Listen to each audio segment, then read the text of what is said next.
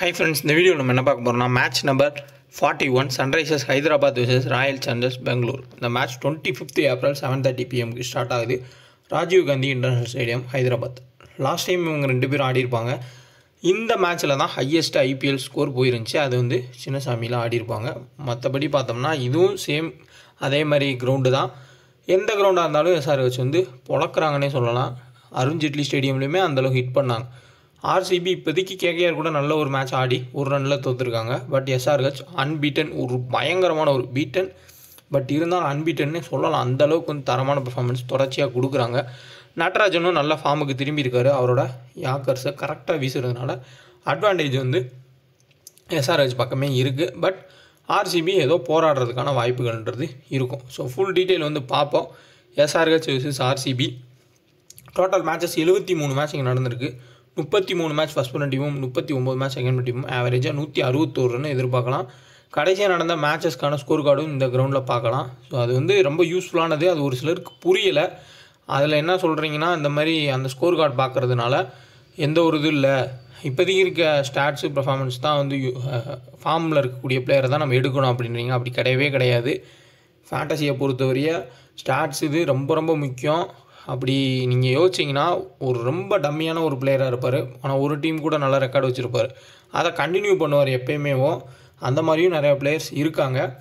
நீங்கள் அதை வந்து நல்லா யோசிச்சு பார்த்தீங்கன்னா புரியும். அது ரொம்ப ரொம்ப முக்கியமான ஒரு இம்பார்ட்டண்டான ஸ்டாட்டு தான். ஹெட் ஹெட்டில் ஆர்சிபி பத்து முறையும் எஸ்ஆர்ஹெச் பதிமூணு முறையும் வந்து ஜெயிச்சிருக்காங்க. இப்போதைக்கு பார்க்குறப்போ எஸ்ஆர்ஹெச் ஜெயிக்கிறதுக்கான சான்ஸ் தான் அதிகமாக இருக்கும். பட் என்ன வேணால் நடக்கலாம். ஏன்னா சேப்பாக்லேயே வந்து எல்எஸ்ஜி வந்து சிஎஸ்கேவை பீட் பண்ணாங்க.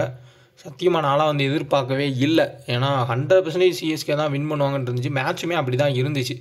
அந்த தீபக் ஜகரோட ஒரு பத்து ரன்னோ பதினஞ்சு ரன் ஃபீல்டிங் மிஸ்னாலேயே வந்து தோத்துட்டாங்கன்னு சொல்லலாம். ஒரு கேட்சை ட்ராப் பண்ணார் ரெண்டு ஃபோரை வந்து விட்டார். ஸோ கிட்டத்தட்ட பதினாலு ரன் தீபக் ஜகர் வந்து விட்டு கொடுத்தாரு. அதிலே வந்து லாஸ் ஆனாங்க. ஃபீல்டிங்குமே ரொம்ப ரொம்ப முக்கியம். எந்த டீம் ஜெயிப்பாங்கன்னே சொல்ல முடியாத அளவுக்கு இந்த ஐபிஎல் போயிட்டுருக்கு. குபேரா ஃபேண்டசி ஆப்பை இன்ஸ்டால் பண்ணி இன்ஸ்டால் பண்ணிங்க ஸோ டூ கே ஃபேண்டசி ரஃபரோட பயன்படுத்திங்க ஜிஎஸ்டி ஃப்ரீயாக கொடுத்துட்ருக்காங்க ஒரு பிளேயரை செலக்ட் பண்ணி ப்ளே பண்ணலாம். ஸோ அதில் ரெண்டு பிளேயர் செலக்ட் பண்ணி ப்ளே பண்ணுற மாதிரி இருக்குது ப்ரோன்னு ஒரு ஆப்ஷன் அது கடைசியாக சொல்கிறேன் அதையும் ட்ரை பண்ணி பாருங்கள் ஸோ ஃபுல் டீட்டெயில்ஸ் வந்து பார்ப்போம் தான் கொடுத்துட்ருக்கோம் ஸோ கடைசி நம்ம வின்னிங்ஸ்ன்றதை எடுத்திருப்போம். அதுக்கானது எல்லாமே நம்ம போஸ்ட்டும் பண்ணியிருப்போம் உள்ளே வந்து பாருங்கள் ஸோ ஃபேப்லோன் ஆப் இன்ஸ்டால் பண்ணி இன்ஸ்டால் பண்ணிங்க அதேமாதிரி டியோ குபேரா ஃபேண்டசி அதுக்கான வின்னிங்ஸ் வேறு லெவலில் போயிட்டுருக்கு ஜஸ்ட் ஒரு பிளேயரை நீங்கள் செலக்ட் பண்ணி ப்ளே பண்ணால் போதும். குபேரா ஃபேண்டசி இன்ஸ்டால் பண்ணாங்க இன்ஸ்டால் பண்ணிக்கோங்க.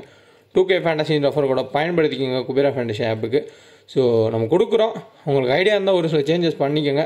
தொடர்ச்சியாக வெற்றின்னு கிடச்சிட்டே இருக்குது அப்படின்னா நீங்கள் காப்பி பேஸ்ட் பண்ணிக்கோங்க. தொடர்ச்சியாக தோல்வி இருந்தால் மாற்றிக்கோங்க அதான் நான் சொல்கிறது ஏன்னா நமக்கு தெரியும் இப்போ தோல்வி இருந்துச்சு அப்படின்னா அதை கரெக்டாக நம்ம எப்படி வந்து டேலி பண்ணணும்னு. ஒரு சிலருக்கு தெரியாமல் இருந்தால் உங்களுக்கு ஐடியா இருந்தாலும் நீங்கள் வந்து மாற்றிக்கோங்க ஏன்னா புரிஞ்சுக்கோங்க. ஃபேண்டசியில் வின் இருக்கும் லாஸ் இருக்கும். கிராண்ட் லீக்கில் நீங்கள் பத்து பதினஞ்சு டீம் கூட மேக் பண்ணிக்கலாம். பட் ஸ்மால் லீக்கில் ஒரு டீமை மேக் பண்ணி தான் விளாட முடியும். அதனால் வின்னு லாஸ் வந்து சகஜம் தான் வேணால் அந்த ஸ்டெப்பை வந்து படித்து கூட பாருங்கள் எப்படி வந்து ப்ளே பண்ணணும் நம்ம வந்து மேலே பின் பண்ணியிருப்போம் இதை பார்த்து கூட தெரியாம தெரிஞ்சுக்கோங்க எப்படி மூவ் பண்ணுறதுன்றதை ஸோ கரெக்டாக மட்டும் பார்த்து ஜாயின் பண்ணிக்கோங்க டெலகிராமில் எஸ்ஆர்ஹெச் ஆர்சிபி கடைசி ஆடியிருந்த மேட்ச் ஸோ ஒரு மூணுலேருந்து நாலு மேட்ச்சுக்கான ஒரு ஸ்கோர் கார்டு இதில் ஜஸ்ட்டு பார்க்கலாம். ஒரு ஐடியான்றது கிடைக்கும். ஸோ விருப்பம் உள்ளவங்க பாருங்கள் அப்படி இல்லாட்டி அடுத்து கூட பார்த்துக்கோங்க. இது ரொம்ப ரொம்ப முக்கியமான ஒரு பாயிண்ட்டு ஹென்ரி கிளாஸனு ஸோ அறுபத்தி ஏழு நூற்றி ரெண்டு இதான் வந்து ஹையஸ்ட் ஸ்கோர் போன ஒரு மேட்ச் இந்த சீசனில் நடந்தது.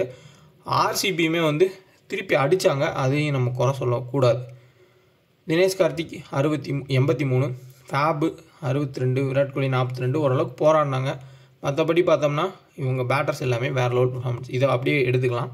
இந்த சைடு பாருங்கள் Henry Klaasen sixty seven so அந்த லாஜிக் பாருங்கள் இது லாஸ்ட் இயர் நடந்த மேட்ச் அப்போ அதுலேயுமே ஹண்ட்ரட் அண்ட் ஃபோர் ரன்ஸ் வந்து கிளாசன் ஸ்கோர் பண்ணியிருக்காரு விராட் கோலி ஹண்ட்ரடு அப்போ விராட் கோலி இங்கே வந்து கிளாஸ்ன்னு பார்த்தீங்கன்னா அப்போ ஒன் ஒன் இயருக்கு அப்புறமே அவங்க ஃபார்ம்ன்றது ரெண்டு பிட் ரெண்டு டீம் ஆடுறப்போ தொடர்ந்து இருக்குது ஃபேப் டிப்ளிஸையும் பாருங்கள் ஃபார்ம் அவுட்டில் தான் இருந்தார். அவருமே கரெக்டாக பாருங்கள் எஸ்ஆர்ஹெச் கூட ஆடிருக்காரு. இங்கேயுமே எஸ்ஆர்ஹெச் கூட இந்த சீசனில் ஆடிருக்காரு. அதே ஃபேபு எழுபத்தி மூணு லாஸ்ட் சீசன்லேயும் அப்போ இது எவ்வளோ பெரிய முக்கியமானதுன்றதையும் நோட் பண்ணிக்கோங்க. தினேஷ் கார்த்திக் முப்பது. இங்கே தினேஷ் கார்த்திக் எண்பத்தி மூணு. நெக்ஸ்ட் இந்த சைடு பார்த்தோம்னா அபிஷேக் சர்மா நாற்பத்தி ஏழு. இங்கே அபிஷேக் சர்மா முப்பத்தி நாலு. ஓரளவுக்கு ஒரு டீமுக்கு எதிராக ஆடுறப்போ அந்த பிளேயர்ஸ் வந்து டீசென்ட் பர்ஃபார்மன்ஸ்ன்றதை கொடுத்துருக்காங்க. நட்ராஜனுமே மினிமம் விக்கெட்ஸுன்றதை எப்பயுமே ஆர்சிபிக்கு எதிராக எடுத்திருக்காரு. இந்த ஒரு விக்கெட் எடுத்திருக்காரு இந்த சீசனில் முன்னாடி சீசனில் பார்த்தீங்கன்னா ஒரு விக்கெட் ரெண்டு எடுத்திருக்காரு. அதுக்கு முன்னாடி ஒரு மூணு விக்கெட் எடுத்திருக்காரு. ஸோ முக்கியமான பாயிண்ட்டு தான் இதுவும். ஸோ நோட் பண்ணிக்கோங்க. இப்போது இந்த சீசனில் நடந்த மேட்ச் இந்த கிரவுண்டில் நடந்த மேட்சுக்கானதை பார்க்கலாம். எஸ்ஆர்ஹெச் இரநூத்தி எழுபத்தி ஏழு எஸ்ஆர்ஹெச் நூற்றி அறுபத்தாறு ஈஸியாக சேஸ் பண்ணாங்க. இதில் ரெண்டு மேட்ச்லையுமே அபிஷேக் சர்மா தான் வந்து player of the match award வாங்கினார். அந்தளவுக்கு குயிக்காக வந்து ஸ்கோர் பண்ணியிருக்காரு. பேட் கமின்ஸ் கட்டர்ஸை போட்டு விக்கெட் எடுத்தார். ஜெயதேவ் உன்னட்கட்டும் கட்டர்ஸை போட்டு விக்கெட் எடுத்தார். இந்த சைடில் பார்த்தோம்னா மோயின் அலி ரெண்டு விக்கெட்ஸு மற்றபடி பார்த்தோம்னா ஆடல் மேக்ரம் மேட்சை முடிச்சு கொடுத்தாரு. இதுதான் வந்து ஃபேக்ட்டு ஓவரால் பார்த்தோம்னா நல்ல ஒரு டீசன்ட் பேட்டிங் ட்ராக்கு யோசித்து கரெக்டாக கட்டர்ஸ் போட்டு லென்த்தில் போட்டு அடித்து விக்கெட் எடுக்கிறவங்களுக்கு விக்கெட்டுன்றது கிடச்சிருக்கு. பட் பேட்டர்ஸ் அதுக்கப்புறமா நீங்கள் மீடியம் பெர்சன்ட் எடுத்துக்கலாம். மயங்க் மார்க்கண்டே மாதிரி பிளேயர்ஸு செகண்ட் போல் பண்ணுறப்ப எப்பயுமே விக்கெட் எடுக்கிறாங்க. அதுக்கு அட்வான்டேஜ் என்னென்னா எஸ்ஆர்ஹெச் மினிமம் இரநூத்தம்பது ரன் ஸ்கோர் பண்ணிடுறாங்க. அப்போ அடிக்க போகிறப்ப மயங்க் மார்க்கண்டே மாதிரி பிளேயர்ஸ்க்கு விக்கெட் விழுகும் அந்த இடத்துல எந்த லெக் ஸ்பின்னர் போட்டாலுமே விக்கெட்டுன்றது கிடைக்கும். அதான் லாஜிக்கு அதனால் அவர் அதை கரெக்டாக பயன்படுத்தி செகண்ட் போல் பண்ணுறப்போ ஃபுல்லாமே அவர் விக்கெட் எடுக்கிறார். இந்த மேட்ச்சில் ஆர்சிபி ஃபஸ்ட் பேட் பண்ணாங்க அப்படின்னா ஏதோ ஒன்று மாறுறதுக்கான சான்ஸ்ன்றது இருக்கும். வெயிட் பண்ணி பார்ப்போம். எஸ்ஆர்ஹெச் ஒவ்வொரு டைம் ஃபஸ்ட் பேட் பண்ணி ஹையஸ்ட் ரன்னுன்றதை அடிச்சிட்டே இருக்காங்க. ஸோ பார்க்கலாம் எந்த அளவுக்கு வந்து இந்த மேட்ச் போகுதுன்றது. பிளேயர்ஸ் டீட்டெயில்ஸ் அதுக்கப்புறமா நெக்ஸ்ட்டு ஸ்டாட்ஸு டீமுன்றதை பார்ப்போம். பிளேயர்ஸ்னு பார்த்தோம்னா Travis Head so Travis Head வேறு லெவலில் ஆர்சிபியை அந்த அளவுக்கு வந்து அடித்தார் பார்த்துருப்போம் அதே தான் அபிஷேக் சர்மாவும். ஆர்சிபியோட பவுலர்ஸு இருக்கிறதுலே one of the poor bowlers தான். அந்த அளவுக்கு ரொம்ப மோசமாக பந்து போடக்கூடிய ஒரு பவுலர்ஸ் எல்லாத்தையுமே எடுத்திருக்காங்க. அதை நான் லாஸ்ட் வீடியோலையுமே சொல்லியிருப்பேன்.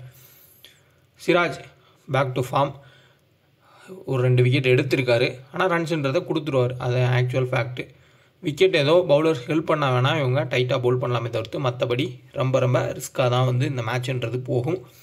எஸ் தயாலு தொடர்ச்சியாக வாய்ப்பு தராங்க. ஸோ கண்டினியூவாக அதே மாதிரி இவங்களோட பவுலர்ஸ் யார் ஆட போகிறாங்கன்னு தெரில லாஸ்ட் மேட்ச் பார்த்தோம்னா இந்த அஞ்சு பேரை வச்சே மூவ் பண்ணாங்க. அஞ்சு பவுலர் வச்சே முடிச்சிட்டாங்க. இந்த இந்த டைம் வந்து யாரை எடுத்துகிட்டு வர போகிறாங்கன்றதை பார்ப்போம். ஆகாஷ் தீபா சரியாக பயன்படுத்தலை. மேக்ஸுல் ஆடுவாரான்னு தெரில இவங்களோட பிளேயிங்லோடனே ஒவ்வொரு மேட்ச்சுக்கு ஏற்ற மாதிரி மாறிட்டு தான் இருக்குது லாக்கி ஃபெர்க்யூசன் ஃபஸ்ட்டு பவுல் பண்ணால் இம்பார்ட்டன்ட் பிளேயர் டெத்தில் போட்டு விக்கெட் எடுக்கலாம். சப்போஸ் ஆர்சிபி ஃபஸ்ட் பேட் பண்ணி நிறைய ரன்ஸ் அடிச்சிருவாங்கன்னு ஒரு டீம் போட்டிங்கன்னா லாக்கி ஃபெர்கியூசனை செகண்ட் போல் பண்ணுறப்பமே எடுத்துக்கோங்க. எப்படி ஒரு நட்ராஜன் லாஸ்ட் வரையும் எடுத்துகிட்டு போய் விக்கெட் எடுத்தாரோ யாக்கர்ஸ் வீசி அதே மாதிரி லாக்கி ஃபெர்க்யூசன் விக்கெட் எடுக்க சான்ஸ் இருக்கும். அப்போது கரண் சர்மா மயங்க் மார்கண்டேவோட ரோலை ப்ளே பண்ணலாம். சப்போஸ் ஆர்சிபி நிறையா ரன்ஸ் அடிப்பாங்க ஃபஸ்ட் பேட் பண்ணின்ற கான்செப்டில் போனால் இவங்க ரெண்டு பேரையும் செகண்ட் போல் பண்ணுறப்போ ஒரு ட்ரம்ப் கார்டு பிக்காக எடுத்து வச்சுக்கோங்க. லோயஸ்ட் பர்சன்டேஜாகவும் இருப்பாங்க நல்ல ஒரு பிக்காகவும் இருப்பாங்க. Safe பிக்ஸில் Will Jacks Cameron Green Faf du Plessis Virat Kohli இதில் எந்த ஒரு மாற்று கருத்தும் இல்லை. ரஜத் பட்டிதார் ஒரு டிஃபரன்ஷியல் பிக் தான். பட் இவருக்குமே கொஞ்சம் ஏர்லியாக விக்கெட்ஸ் போகிறப்போ மிடில் வந்து அடிக்க முடியும். எல்லாருமே ஹிட் பண்ணிட்டாங்க அப்படின்னா உடனே வந்து இவர் ஹிட் பண்ணுறன்றது சாத்தியம் இல்லை. ஒரு சில டீம்ஸில் டாப் ஆர்டர் காலி ஆவாங்கன்னு கான்செப்ட் போட்டால் மட்டும் ரஜத் பட்டிதார் எடுத்துக்கோங்க. பட் செகண்ட் பால் பண்ணாங்க அப்படின்னா ஆர்ஜிபி ஹையஸ்ட் ரன் போயிட்டா Karan Sharma Ferguson important pick second இன்னிங்ஸில் ஃபஸ்ட் இன்னிங்ஸில் எப்போயுமே சிராஜ் இம்பார்ட்டன்ட் பிக்கு தான்.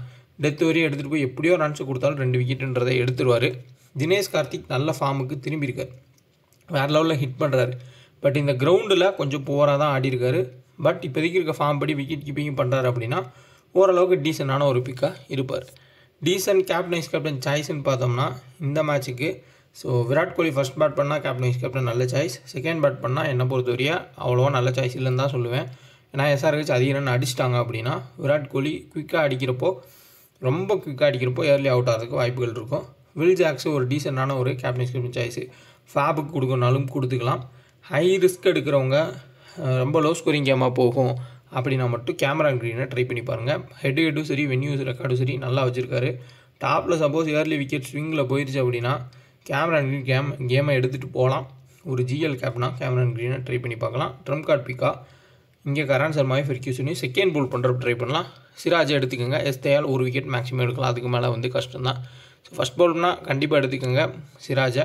ஃபெர்கியூசன் எடுத்துக்கோங்க பட் கண்டிப்பாக செகண்ட் போல் பண்ணால் கரண் சர்மா ஃபெர்கியூசன் இம்பார்ட்டனாக இருப்பாங்க. கேமரன் க்ரீனு ஏர்லி விக்கெட்ஸ் போனால் இந்த மேட்ச்சில் ஒரு கீ பிளேயராக கண்டிப்பாக இருப்பார். ஒரு டீமில் ட்ரை பண்ணி பாருங்கள் கேப்டனைஸ் கேப்டனா எஸ்ஆர்ஐ சைடு பார்த்தோம்னா இனிஷியலாக வந்து ரெண்டு லெஃப்ட் ஹேண்டர் அப்புறம் ஃபுல்லாமே ரைட்டு தான் வராங்க. டிஃபரன்ஷியல் பிக்கு நிதிஷ்குமார் ரெட்டி சபாஸ் அகமது. இவங்க ரெண்டு பேர் தான். ஸோ லாஸ்ட் மேட்ச் யாருமே எதிர்பாராத மாதிரி இவங்க வேறு லெவலில் வந்து ஹிட்டிங்கிறத கொடுத்துருந்தாங்க. உனட்கட் வராரா? இல்லை வாஷிங்டன் சுந்தரான்றதை பார்த்துக்கோங்க. செகண்ட் போல் பண்ணால் ரொம்ப ரொம்ப important pick Mayank Markande Natarajan first or second important Pat Cummins first or second important Bhuvneshwar Kumar டைட்டாக போல் பண்ணுவார். அதிகபட்சமாக ஒரு விக்கெட் தான் எடுக்க முடியும். அதுக்கு மேலே எடுக்க முடியாது. ஸோ இந்த மேட்ச்சுக்கு better captainship choice Henry Klaasen தான். ஸோ வேறு லெவலில் ஒரு பெஸ்ட்டு கேப்டன்ஷிப் சாய்ஸாக இந்த மேட்ச்சில் இருப்பார். ரிஸ்கி ஆப்ஷன்ஸில் வேணால் ட்ரைவர்ஸ் கிட்டேயும் அபிஷேக் சர்மாவையும் எடுத்துக்கோங்க. கேப்டன்ஸ் கேப்னா காரணம் என்னென்னா சப்போஸ் ஒரு ஸ்விங் கிடச்சிருச்சு அப்படின்னா சிராஜ் விக்கெட் எடுத்துருவார். அதுக்கான ஆப்ஷன்ஸும் இருக்குது ஸோ இல்லை ஸ்விங் கிடைக்கலனா இவங்க அடிச்சிருவாங்க. ரெண்டுக்குமே இருக்குது ஃப்ளாப்பாகவும் வாய்ப்பு இருக்குது ஹிட்டாகவும் வாய்ப்பு இருக்குது ஒரு சில டீம்ஸில் கேப்டன்ஷிப் கொடுத்துட்டு பட் சேஃப் ஆப்ஷனாக நம்ம ஹென்ரி கிளாஸனை பார்க்கலாம் இந்த மேட்ச்சுக்கு சப்போஸ் இவங்க அவுட் ஆவாங்கன்னு கான்செப்ட் டீம் போட்டால் சபாஸ் அகமது நிதிஷ் குமாரை அந்த இடத்துல ஆட் பண்ணிக்கிறது பர்ஃபெக்ட் ரோலாக இருக்கும். மயக் மார்கண்டே ஃபஸ்ட் பவுல் பண்ணால் ஒரு விக்கெட் மேக்ஸிமம் அதுக்கு மேலே கஷ்டம். பட் செகண்ட் பவுல் பண்ணால் ரெண்டு விக்கெட் ப்ளஸ் ஈஸியாக வந்து எடுக்கிறார். நட்ராஜன் ஃபஸ்ட் ஆர் செகண்ட் ரொம்ப ரொம்ப இம்பார்ட்டன்ட் ஸோ டெத்தில் போட்டு விக்கெட் வாய்ப்பு இருக்கும். பேட் கமின்ஸு ஸோ பவுலிங் மட்டும் நம்ம எதிர்பார்க்க முடியாது. திடீர்னு எல்லா விக்கெட்டுமே போகிறப்போ பேட்டிங்கில் வந்து பயங்கரமாக அடித்தால் அடிச்சிருவார். ஸோ ஒரு சேஃபஸ்ட்டு ஒரு option captain vice captain try பண்ணுறத விட ஒரு நாற்பது பாயிண்ட்டுக்கு மினிமம் நம்ம வந்து எடுத்து வச்சுக்கலாம். பேட் கமின்ஸோ ஒரு அதுக்கான ஒரு பெட்டரான ஆப்ஷன் மாக்ரம். சேசிங்கில் ஃபஸ்ட்டாக பிக் பண்ணுங்கள் பட் ஃபஸ்ட்டு பேட்டிங்கில் மாக்ரம்னால அவ்வளோவா ஆட முடியல. காரணம் இவங்க ரெண்டு பேருமே அடிச்சிடுறாங்க. சப்போஸ் யாராவது ஒரு ஆள் அவுட் ஆயிடுவாங்கன்னு ஒரு டீமை போட்டிங்கன்னா அதில் மாக்ரமை கேப்டனாக போட்டு ட்ரை பண்ணுங்கள் அந்த சைடு எப்படி கேமரான் கிரீனோ அந்த மாதிரி மாக்ரம்.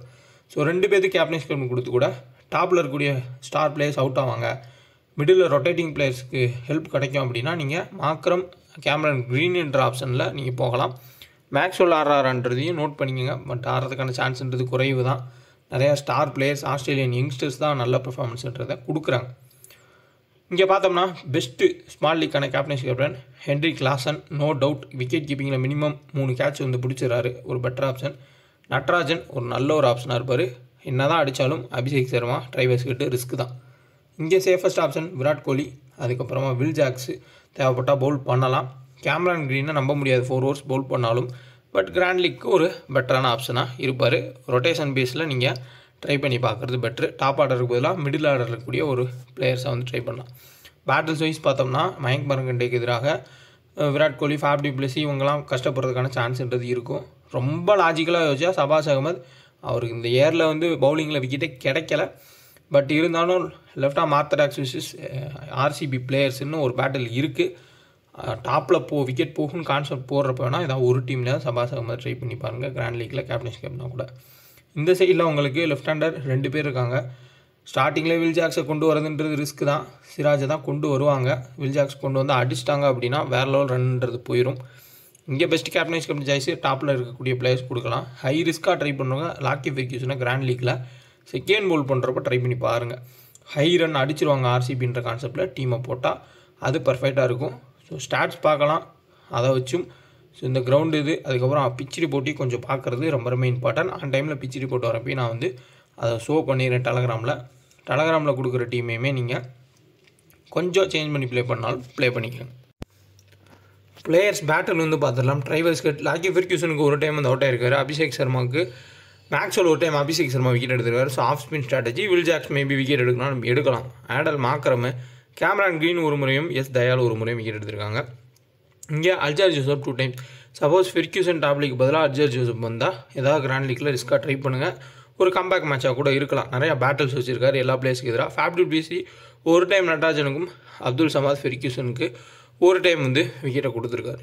இங்கே பார்த்தோம்னா Virat Kohli Bhuvneshwar Kumar two time wicket எடுத்திருக்காரு. லாஸ்ட் மேட்ச்சே விக்கெட் எடுக்கிற மாதிரி தான் இருந்துச்சு but தப்பிச்சிட்டாரு Virat Kohli. Will Jacks Marco Jansen four times wicket எடுத்திருக்காரு. நட்ராஜன் த்ரீ டைம்ஸ் மேக்ஸ்வெல் விக்கெட்டையும் ஞான்சன் ஒரு டைம் விக்கெட் எடுத்திருக்காரு. இங்கே நட்ராஜன் தினேஷ் கார்த்திக் விக்கெட்டாக லாஸ்ட் டைம் எடுத்தார். மணிபால் இல்லாமல் நட்ராஜனுக்கு அவுட் ஆனதை பார்த்தோம். ஸோ தொடர்ச்சியாக நட்ராஜன் விக்கெட்டுன்றதை ஓரளவுக்கு இந்த சீசன்லேயும் எடுக்க ஸ்டார்ட் பண்ணியிருக்காரு. ஸோ இம்பார்ட்டன்ட் ஸ்டார்ட் பார்ப்போம். ட்ரைவர்ஸ் கட்டு வென்யூவில் மூணு மேட்ச்சில் நூற்றி இருபத்தி மூணு ரன் ஸ்கோர் பண்ணியிருக்காரு. ஸோ ஹிட்டாகவும் வாய்ப்பு இருக்குது ஃபஸ்ட்டு பாலே ஃப்ளாப்பாகவும் வாய்ப்பு இருக்குது ட்ரைவர்ஸ் கட்டு ஒரு மேட்ச் வந்து ஃப்ளாப் ஆகிட்டா அது கண்டினியூ ஆகிறதுக்கும் சான்ஸ்ன்றது இருக்குது ஹென்ரி கிளாசன் நாற்பத்தி மூணு ரன் ஆவரேஜ் வென்யூவில் ஹெட்வேர்டில் அறுபத்தி ஏழு ரன் ஆவரேஜ் ஸோ பக்காவான ஒரு கேப்டன்ஸ் கேப்டன் சாய்ஸு கண்டிப்பாக இந்த மேட்ச் வந்து ஒரு பெரிய இன்னிங்ஸ் ஆடுறதுக்கான சான்ஸ் இருக்கும். அப்படி இல்லாட்டி எப்படியாவது பாயிண்ட் வாங்கி கொடுத்துருவார். விக்கெட் கீப்பிங்லேயும் பாயிண்ட்ஸ்ன்றது கிடைக்குது. அபிஷேக் சர்மா வென்யூவில் பத்து மேட்ச்சில் நூற்றி நாற்பத்தொன்று தான். பட் இந்த சீசன் அபிஷேக் சர்மா வேறு.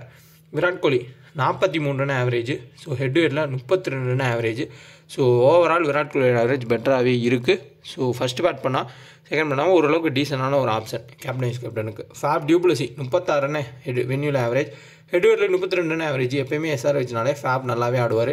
போன மேட்ச் வர கேகேஆர் கூட ஃப்ளாப்பு அவரும் ஹிட் ஆக சான்ஸ் இருக்குது ஹென்ரி கிளாசன் ஃபேப்னு கூட நீங்கள் கேப்டன்ஸ் கேப்டனாக ட்ரை பண்ணலாம். மேக்ஸ்வெல் ஆறு மேட்ச்சில் எழுபத்தி ரெண்டு தான் வென்யூவில் ஸ்கோர் பண்ணியிருக்காரு. டிகே வென்யூவில் ரொம்ப ரொம்ப பெர்ஃபார்மன்ஸ் கம்மி. பட் ஹெட் டு ஹெட்டில் லாஸ்ட் மேட்ச் சூப்பராக வந்து ஆடினார். நடராஜன். நாலு மேட்ச்சில் வென்யூவில் எட்டு விக்கெட்டும் ஹெட் டு ஹெட்டில் எட்டு மேட்ச்சில் ஒம்பது விக்கெட்டும் மைக் மார்க்கண்டே வென்யூவில் பத்து விக்கெட் எடுத்திருக்காரு. அதுவும் செகண்ட் போல் பண்ணியே மினிமம் ரெண்டு ரெண்டு விக்கெட்டாக எடுத்து ஓரளவுக்கு வந்து எல்லா கிரவுண்ட்லையுமே ரெண்டு விக்கெட் எடுத்துடுறாரு செகண்ட் போல் பண்ணுறப்ப கேமரான் க்ரீன் வென்யூவில் ஒரு மேட்ச் ஆடி அறுபத்தி நாலு ரன்னும். ஹெட் ஹெட்டில் ரெண்டே மேட்ச்சில் நூற்றி அறுபத்தி நாலு ரன் வந்து ஸ்கோர் பண்ணியிருக்காரு. ரீசெண்ட் ஃபார்மு ரெண்டு விக்கெட்டுன்றதை எடுத்திருக்காரு. அதுவும் நோட் பண்ண வேண்டியது. ஹென்ரி கிளாஸனை கேப்டனாக கொடுத்து அபிஷேக் சர்மா வைஸ் கேப்டனாக கொடுத்துருக்கேன் இந்த இடத்துல நீங்கள் ஃபேபா கூட வைஸ் கேப்டனாக ட்ரை பண்ணலாம். ரஜத் பட்டிதார் டிரைவர்ஸ் கேட்டில் ரிஸ்க் தான். அந்த இடத்துல நீங்கள் சேஃபாக போகணுன்னா வேறு பிளேஸ் எடுத்துக்கோங்க. நிதிஷ்குமார் ரெட்டியுமே ரிஸ்க் தான். ஸோ நட்ராஜன் பேட் கமின்ஸு உங்களுக்கு தேவைப்பட்டால் ஆர்சிபி பவுலர்ஸை எடுத்துக்கோங்க. நான் யாரையுமே எடுக்கலை. கேமரன் க்ரீனை மட்டும் எடுத்திருக்கேன். அவர் ஃபோர் ஓவர்ஸ் பவுல் பண்ணுறாரு அப்படின்ற காரணம் பேட்டிங்குமே வரும். மறுபடியும் எஸ்ஆர்ஹெச் பெரிய ரன்ஸ் போவாங்கன்னு தோணுச்சுன்னா நீங்கள் இவங்க ரெண்டு பேருக்கு கேப்டன்ஸ் கம்னா கூட கொடுக்கலாம். சேசிங்கில் ஒன் சைடை ஜெயிப்பாங்க அப்படின்னாலும் கொடுத்துக்கோங்க. அதுலேயும் எந்த ஒரு தவறும் இல்லை. ஏன்னா நம்ம அவுட் ஆகும் அவுட் ஆகும்னு ஒரு மேட்ச் எதிர்பார்க்குறோம் பட் இந்த ரெண்டு பேருமே எல்லா மேட்சுமே அடிக்கிறாங்க. ஸோ அவங்க ஹோம் க்ரௌண்டில் நடக்குது. மறுபடியும் ஹை ஹை ஸ்கோர் போகிற மாதிரி விக்கெட்டை செட் பண்ணாங்கன்னா இவங்க ரெண்டு பேருக்கு அட்வான்டேஜ்ன்றது இருக்கும். ஸோ டியோ ப்ளே பண்ணியிருப்பீங்க டியோ ப்ரோ அப்படின்னா என்னென்னா ஸோ இப்போது விராட் கோலியை நீங்கள் வந்து பிக் பண்ணிக்கிறீங்க. இந்த சைடில் நீங்கள் பேட் கமின்ஸு பிக் பண்ணிக்கிறீங்க. ரெண்டு பேரோட பாயிண்ட்டும் கால்குலேட் ஆகும். அப்போ உங்கள் ஆப்போசிட் மெம்பர் ஃபேபையும் ஒரு வில் ஜாக்ஸி எடுத்திருக்காருன்னா ஓவரால் பாயிண்ட்ஸ் இவங்க ரெண்டு பேரோட பாயிண்ட்டு இவங்க ரெண்டு பேரோட பாயிண்ட்டு இப்போ ஒரு பத்து ரன் இவங்க பத்து ரன் அடிச்சிட்டாங்க அப்படின்னா பத்து பத்து பாயிண்ட்னா இருபது பாயிண்ட் ஆயிரும். இவங்க ரெண்டு பேருமே சேர்ந்து ஒரு பத் இருபது பாயிண்ட் கம்மியாக இருந்தால் நீங்கள் வின்னு ஸோ ரெண்டு ஆப்ஷன் மாதிரி இதில் ஹெட் ஃபைவ் வரி கூட இருக்குது ஹெட் ஃபோர் இருக்குது நிறையா ஆப்ஷன்ஸ்ன்றது இருக்குது ஸோ ட்ரை பண்ணுங்கள் நல்ல ஒரு அமௌண்ட்டுன்றது நீங்கள் இதில் எடுக்கலாம். ஸோ டியோ ப்ரோ ஸ்டார்ட் பண்ணுங்கள் ரொம்ப ரொம்ப யூஸ்ஃபுல்லானது ஏன்னா ஒரு பிளேயரை நம்பி போக தேவையில்லை. இந்த சைடு நீங்கள் ஒரு பிளேயர் நம்பி கூட இந்த சைடு இன்னொரு பிளேயர் நம்பி போகலாம். இல்லை இந்த சைடு விராட் கோலியே உங்கள் ஆப்போசிட்டே எடுத்திருக்காரு நீங்களும் எடுத்திருந்தாலும் பிரச்சனை இல்லை. இங்கே வேறு பிளேயரை நீங்கள் வந்து எடுத்துக்கலாம். இது டியோவோடது ஸோ டியோ ப்ரோவோடது ஓப்பன் ஆகும். அப்போ வேறு வேறு பிளேயர்ன்றது கொடுப்பாங்க. ஸோ ட்ரை பண்ணி பாருங்கள் இன்ஸ்டால் பண்ணாங்க இன்ஸ்டால் பண்ணிங்க டூ கே ஃபேண்டசி ரெஃபரோட பயன்படுத்திங்க ரொம்ப ரொம்ப சூப்பரான app Kubera fantasy app duo ஒரு பிளேயர் செலக்ட் பண்ணி ப்ளே பண்ணிக்கலாம். டியோ ப்ரோவில் செக் ரெண்டு பிளேயரை செலக்ட் பண்ணி நீங்கள் ப்ளே பண்ணிக்கலாம். வீடியோ இருந்தால் லைக் பண்ணுங்கள் ஷேர் பண்ணுங்கள் மறக்காம சேனலை சப்ஸ்கிரைப் பண்ணி டெலகிராம் ஜாயின் பண்ணிங்கன்னா டிஸ்கிரிப்ஷனில் லிங்க் இருக்குது முடிஞ்ச அளவுக்கு என்னோடய பெஸ்ட்டை தான் நான் ஸ்மால் லீக்கில் கொடுக்குறேன். பெஸ்ட்டாகவே கொடுக்குறேன்னு நினைக்கிறேன். ஓவரால் பார்க்குறப்போ நல்ல ஒரு வின்னிங் தான் நான் வந்து இந்த ஐபிஎல்லில் கொடுத்துருக்கேன். லாஸும் ஆயிருக்கு. அதை ஒத்துக்கிறேன். பட் இருந்தாலும் ரொம்ப லாஸ் ஆகலை. அப்பப்போயாச்சும் நான் வின்னிங்ஸ் கொடுத்து ஓரளவுக்கு சரி கட்டி ஓரளவுக்கு கொண்டு போயிட்டுருக்கேன். ஸோ நம்மளோட ரெகுலர் யூசர்ஸ்க்கு அது நல்லாவே தெரியும். புதுசாக யாராவது வந்தீங்க அப்படின்னா வின்னு லாஸை பார்த்து வந்து கொலாப்ஸ் ஆகாமல் எப்படி நம்ம கொடுக்குறோன்றதை கொஞ்சம் நோட் பண்ணுங்கள் ஒரு ரெண்டு மேட்ச் ஆச்சும் உங்களுக்கு புரியும். ஏன்னா நான் பர்சனலாக ஸ்மால் லீக் எப்பயுமே வந்து ப்ளே பண்ணுவேன். அதை தான் வந்து உங்களுக்கு கொடுக்குறேன். லாஸ் ஆனால் எனக்கும் லாஸ் தான் ஆகும். வின் ஆனால் உங்களுக்கு வின்னு தான் ஆகும். அதை வந்து புரிஞ்சுக்கோங்க.